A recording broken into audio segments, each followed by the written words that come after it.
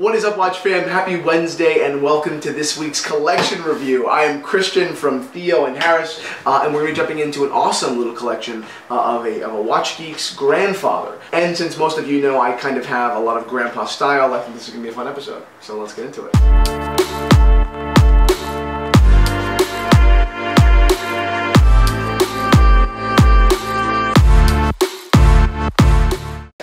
Before we get started, a quick wristwatch check. I am wearing a Rolex Datejust reference 1601 uh, with a beautiful wide boy dial and matching hands. This is a rare configuration of one of my favorite watches, or probably my favorite watch in the world. Uh, definitely my favorite vintage watch. It was a pleasure to source it, certainly, and it's a pleasure to wear it right now. So get into the episode. Okay, so I received an email a couple of weeks ago. It was a, a collection review request uh, at info at theoandharris.com, which you should all definitely send your collections to so I can review. But the email is actually not signed by the person who sent it, so their pen name, I believe, is Eastwood. So this is this is a review uh, for Eastwood's grandfather. So let's get into what he has, uh, what I think about the watches, and then what I think would be a logical progression of that collection. Okay, so first off, we have a Rolex reference 16030, I believe uh, with a beautiful silver dial. Next we have a Tudor Prince Oyster date, uh, 34 millimeter watch, smooth bezel, crazy dial. We'll get into that in a little while. A little old Rolex uh, Oyster Precision, an Omega Dynamic Geneve, an Omega Speedmaster, and finally a vintage Omega Seamaster with a beautiful waffle dial.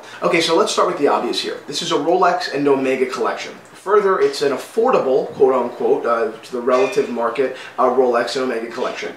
This is really where I like to play. These are some of my favorite watches. I love uh, the kind of kind of entry-level Omega Rolex worlds. I think there's a ton of value. I think that these watches are not uh, worse than their more expensive brothers and sisters, rather just less desirable or less recognized by the mass market. They've created this like insulated sub-market where 34 millimeter Tudors are only worth two grand, not three or four or five, uh, where a Datejust is only worth three or four as opposed to six or seven or eight, which would be logical considering the, the value of, like I said, the brothers and sisters throughout the Rolex line specifically. So I will tell you this, Eastwood, uh, your grandfather not only has great taste, uh, but really has a wonderful understanding of value, uh, which to me is obviously that's where I live and breathe. All the watches that I deal with uh, at theoandharris.com and on the watch shop represent value. That's my thing. Uh, I like buying a $12 bottle of wine that drinks like a $24 bottle of wine. I like wearing a $1,000 watch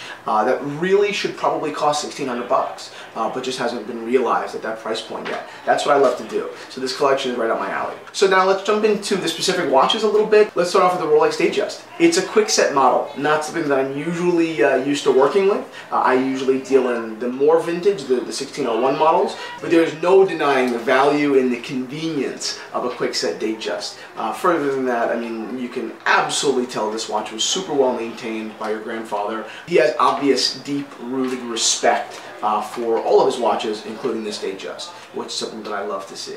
A Rolex Datejust is a very serious watch. It's a watch that uh, I think deserves to be cherished. Like all material items, but specifically this, uh, deserves to be cherished. And, uh, your grandfather uh, has done so. And I have you know, major respect for someone who uh, buys something and takes care of it. So props. Next you have this little old Precision, which is a super interesting, beautiful watch. Uh, it has a lot less beef than the Datejust. It probably is more of a dress watch, uh, typically, but, uh, but I love the strap you've put it on. I think it's super interesting. This is a watch that will never go out of style. Something that I am comfortable wearing. I think the millimeters are probably, what, 33 or 34, uh, but I can understand how most people would not be. But still, uh, I maintain my, you know, my uh, passion for smaller watches, particularly by my favorite brand, Rolex. Next, we have a very cool Omega Geneve Dynamic with the blue dial and amazing custom pertaining to the hour indices. This is an oddball watch. This is not a watch I see very often, uh, and I'm a, I'm a big, big fan of it. Next, the Speedmaster Professional, which is a watch that almost doesn't seem like it fits in this collection because your grandfather obviously leans more towards smaller, um, you know, more kind of refined dress watches. Uh, but I do think it's interesting that he chose the Speedy, uh, maybe as opposed to a sub. That may have made a little bit more sense to me. But obviously, even though I'm not a big Speedmaster fan, it's a wonderful watch that although maybe it doesn't make sense contextually to me on the surface as to its existence in the collection, but still, it's a watch that has stood the test of time without question.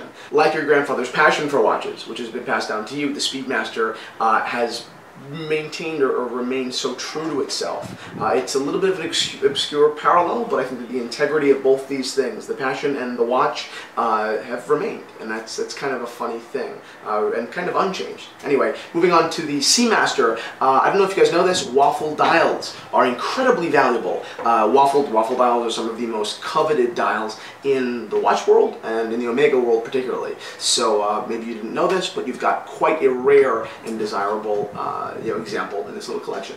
Okay, so we've seen the collection. Uh, we see what your grandfather has, uh, and we obviously know that you're, you're very passionate about these watches. Uh, and I have three recommendations for you. One, I'd like you to source an original secondhand for your Omega Geneve Dynamic.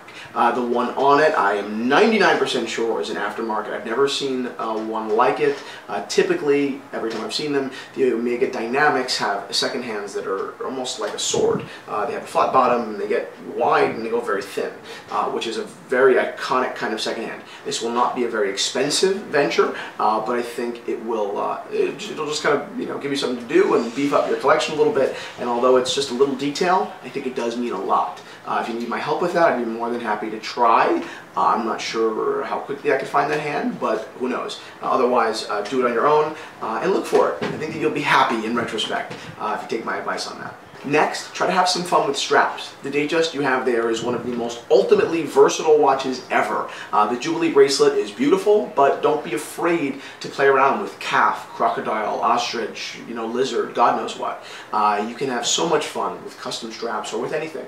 Uh, they're not enormous investments, anywhere from 100 to $300. Uh, obviously, at 300 they're getting a lot more expensive, but still, uh, I think that they will rejuvenate your grandfather's watches uh, and make them, even more importantly, your own a little bit. You know, your grandfather's watch on the Jubilee is your grandfather's watch but your grandfather's watch on, you know, a watch strap from the Theo Harris watch shop, for example, self-promotion plug, I'm shameless, uh, would be, you know, your grandfather's watch with, with your kind of like addition or your decision.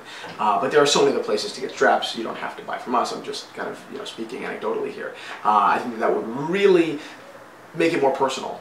Uh, and, and, and kind of merge your grandfather's passion, you know, with, with or, or make it evolve a little bit. I love that. And then finally, my one watch recommendation that you might want to add to this collection or advise your grandfather might would be an Omega chronograph, uh, a Seamaster with a 321 movement. These are some of my favorite watches in the world. Uh, they're Lemania based. They're based off of, you know, the most venerable and probably well-respected movement in the world, uh, based off of the same movement inside the Patek Philippe 5070, which something people don't usually realize. I mean, it's the Moonwatch movement. Uh, further than that, it although powered by the same you know movement as a Speedmaster, couldn't be more different. Uh, it's an ultimate refined watch. There are so many little details that you can go into them, whether that's stick hands, alpha hands, certain kinds of dials, and, and all that. Uh, it's a watch that, in my opinion, although has kind of risen in price in the last year and a half or two years, still is at a fair price, if not slightly below market. So I, I do recommend you pick one up. Uh, these are incredible, incredible watches that I absolutely wish that I owned myself. So that's it. Thank you so much for sending me your grandfather's collection, Eastwood. Uh, it was such a pleasure, you know, looking at a collection that has uh, been building over the course of a lot, a lot of years, as opposed to something that just happened over the course of the last year. Uh, to me, it shows so much thought uh, and it represents passion you know, a long developing journey of passion. And I love that. And I love that you're talking about it now. You know, I think your grandfather is probably very, very proud of that. That's it. Thank you guys so much for watching this week's collection review. Do not forget to check out the watches in the watch shop at theoandharris.com right now.